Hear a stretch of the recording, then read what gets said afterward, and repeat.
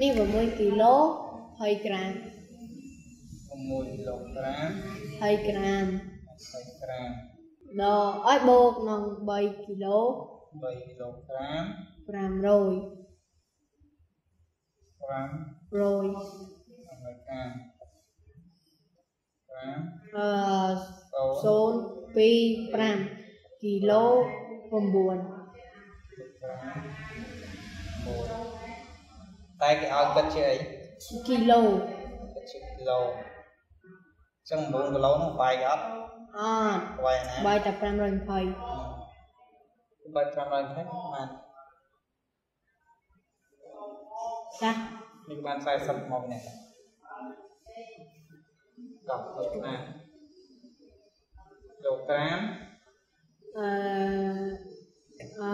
ហិកតាក្រាមក្រាមអឺដេ កាក្រាមក្រាមអឺក្រាមក្រាមអត់មានតូចជាងក្រាមទេយ៉ាងម៉េចទូទីទេបាទណាសំដៅក្រាម0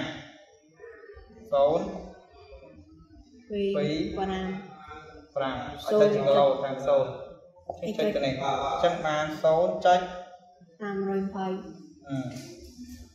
បូក1ម៉ាគីឡូ9បូក1គីឡូ បូកខុសតុងម៉ែត្រចឹងបានអូបូក9ចុច